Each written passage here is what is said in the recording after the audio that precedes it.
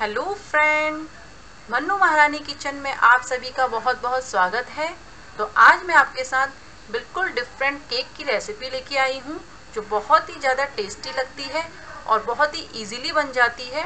इसका टेस्ट बहुत डिफरेंट होता है। तो गाइज़ इसे बनाने के लिए हमें मैंगो और सूजी की ज़रूरत है। तो चलिए मैंगो और सूजी से केक बनाना स्टार्ट करते हैं।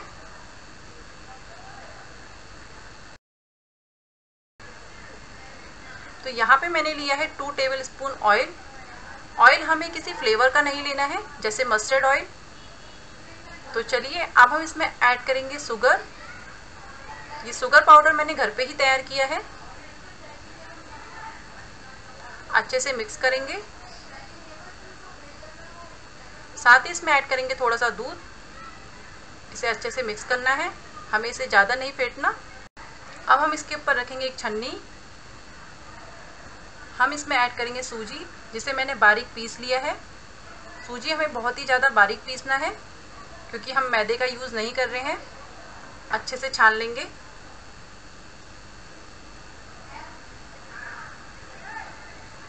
तो सूजी हमारी छन चुकी है। अच्छे से मिक्स करेंगे।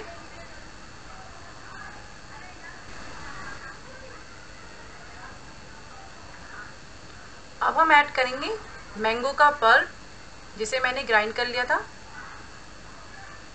अच्छे से चला लेंगे।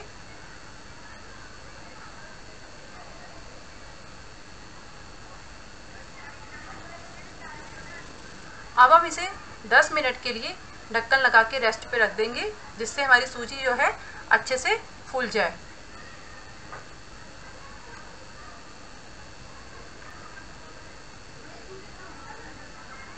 तो 10 मिनट हो चुके हैं। सूजी हमारी अच्छे से फूल चुकी है। अभी इसकी कंसिस्टेंसी थोड़ी थिक है। मैं इसमें थोड़ा सा दूध और ऐड करूँगी।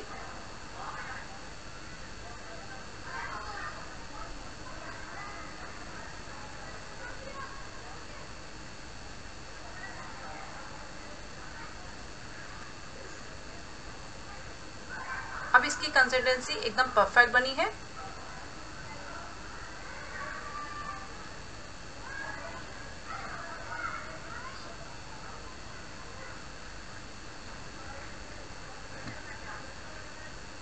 अब हम इसमें ऐड करेंगे एक चम्मच बेकिंग पाउडर अच्छे से मिक्स करेंगे। बेकिंग पाउडर ऐड करने से केक बहुत ज़्यादा स्पॉन्जी बनता है। तो बस, अब हम इसे केक टिन में ट्रांसफ़र करेंगे। तो केक टिन को पहले हम ग्रीस कर लेंगे ऑयल से।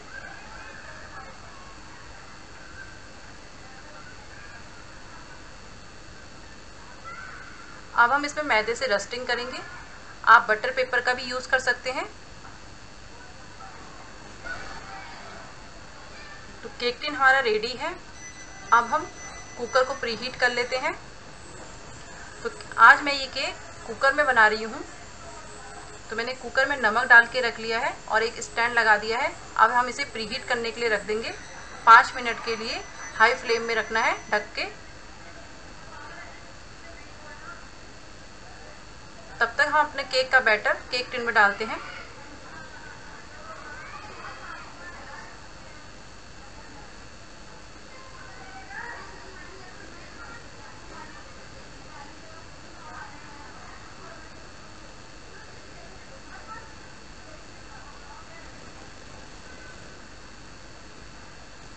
तो बैटर को हमने केक टिन में डाल दिया है, अच्छे से टैप कर लेंगे। अब हम इसे डेकोरेट करेंगे। मैं इसे बादाम से डेकोरेट कर रही हूँ। आप चाहे तो कोई भी ड्राई फ्रूट ले सकते हैं या टूटी फूटी भी ऐड कर सकते हैं। तो चलिए, अब हमने इसे डेकोरेट कर लिया है। अब हम इसे कुकर में रखेंगे। तो कुकर हमारा प्री हीट हो चुका है। अब हम इसके अंदर केक डालेंगे।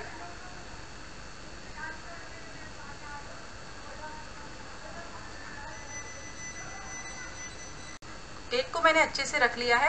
अब मैं कुकर का ढक्कन लगा के 40 से 45 मिनट के लिए बेक होने के लिए रख दूँगी। केक को इतना टाइम लगता है बेक होने के लिए।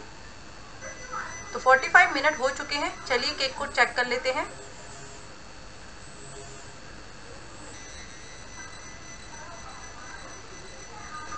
तो केक को मैं नाइफ की हेल्प से चेक करूँगी।